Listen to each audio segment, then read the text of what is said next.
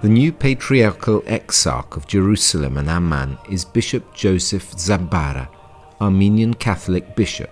The enthronement ceremony was held on June the 17th in the Church of Our Lady of the Spasm at the fourth station on the Via Dolorosa.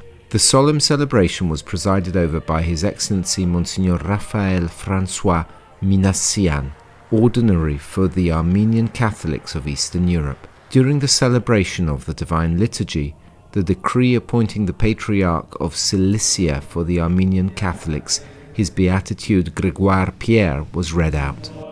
It was attended by the Armenian Catholic faithful of Jerusalem, the Apostolic Delegate for Jerusalem, Monsignor Leopoldo Girelli, the Apostolic Administrator of the Latin Patriarchate, Monsignor Pierbattista Pizzaballa, and the Custos of the Holy Land, Brother Francesco Patton, and representatives of the other Christian communities of Jerusalem. During the celebration, Bishop Zabbara greeted the faithful and expressed the joy of serving the Church of Jerusalem. Una cosa eh, molto molto piacevole a me essere qui in Terra Santa, nella città santa di Gerusalemme.